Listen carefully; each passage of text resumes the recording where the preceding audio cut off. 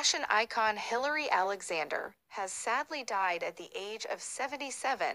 The fashion journalist and New Zealand native died on her 77th birthday on Sunday.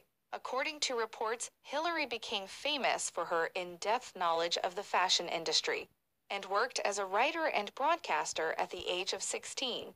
She began working as a trainee reporter and worked her way up to fashion editor of the Daily Telegraph in 1982.